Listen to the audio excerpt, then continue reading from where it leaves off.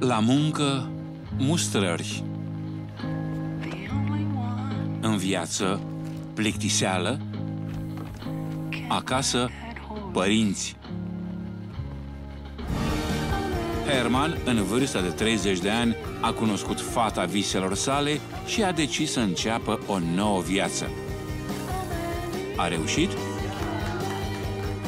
Matthew Lillard, într-un film premiat regizat de Dreis Doremus, Spooner, pe canalul Filmbox Premium.